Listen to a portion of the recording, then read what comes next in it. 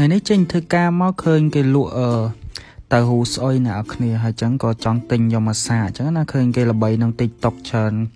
ហើយតៅហ៊ូស្អុយឆាងសានេះ មានទីតាំងនៅផ្លូវ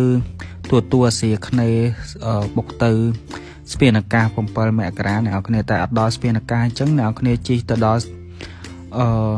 ស្ថានីយ៍ទួទួអាស៊ីគ្នេអ្នកនរគ្នាងាកមើលខាងស្ដាំដៃទៅឃើញឡែងរបស់គាត់ហើយ ចឹងមើលទៅតំណងមែនតើអ្នកនរគ្នា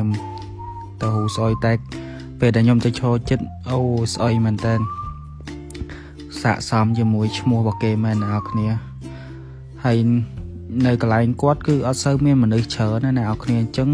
អ្នកដែលថាចង់សាកតែខ្ជិលរងចាំយូរអាចទៅកន្លែងរបស់គាត់បានហើយនេះនំដុតរបស់គាត់អ្នកនរគ្នានំដុតគេក៏តំណងដែរអ្នកនរគ្នាប្រើ ម៉ាសអឺម៉ាស៊ីនប្រភេទឈើអញ្ចឹងតែមានម៉ាស៊ីនដែកពីរទៀតចក្រានច្រឡំម៉ាស៊ីនអ្នកគ្នាចក្រានរបៀបចិនរបស់គេតែម្ដងហើយទៅហើយអឺឈុតរបស់គេហ្នឹង20000ហ្នឹងមានទៅហ៊ូស្អុយ4នំដុតមួយហើយនឹងទឹកស្ដែកមួយអ្នកគ្នាលើបានហើយចឹងឈុតរបស់គេហ្នឹង20000រៀលហើយមានឈុត20000រៀលមួយទៀតមានទៅហ៊ូអឺ ទៅហ៊ូស្អុយហ្នឹង9ជាមួយទឹកស្ដែកមួយហើយខ្ញុំយកឈុតដែលមាននំអ្នកគ្នាហើយនំហ្នឹងខាងក្នុងគឺមានស្នូលទេអ្នកគ្នាឆ្ងាញ់មែនតើចឹងអ្នកដែលចង់សាកកុំភ្លេចទៅសាកទាំងអស់គ្នាអរគុណច្រើនបាយបាយ